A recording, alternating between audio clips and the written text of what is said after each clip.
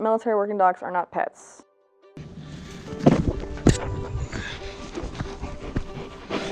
My name is PFC Gavit. I'm a military working dog handler, and my partner's name is Cody.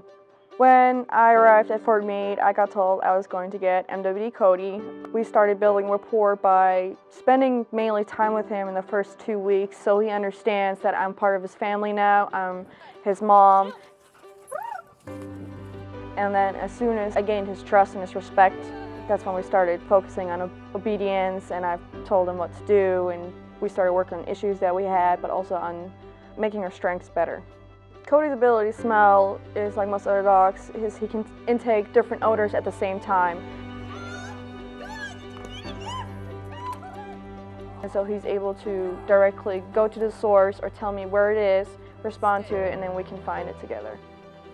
Military working dogs benefit the Army by being a psychological deterrent. They are able to detect odors that we as humans cannot, and they have proven to be better than most machines and have had less failure rates. Being a military working dog handler, it can be stressful at times and very physical demanding, but the camaraderie you have with the other handlers and the relationship to your dog beats all of it.